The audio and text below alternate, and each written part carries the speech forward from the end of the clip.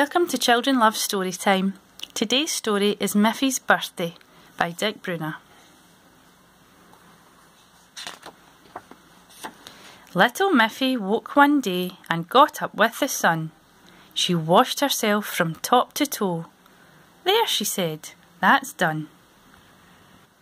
She chose a pretty dress to wear, the prettiest she had, for it was Miffy's birthday, and it showed that she was glad.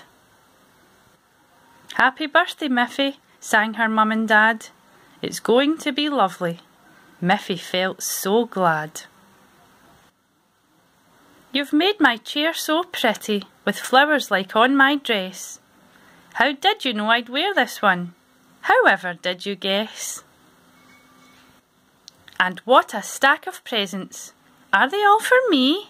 I'm feeling so excited. Let me open them and see. Some scissors that can really cut, a lovely whistle too. And what I wanted, coloured pencils. Miffy cheered, Yahoo! That afternoon her bunny friends, Ag and Win came by. When they cried happy birthday, Miffy almost felt quite shy.